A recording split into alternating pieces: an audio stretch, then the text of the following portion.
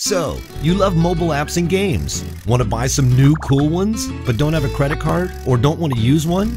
Worry no more.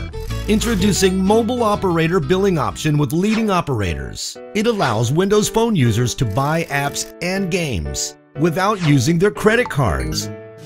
Just choose the application or content you want to buy from the store and simply select your mobile operator account option to continue your transaction.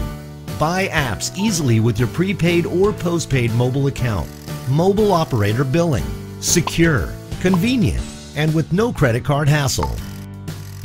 Tap Windows Stores now and enjoy your favorite apps.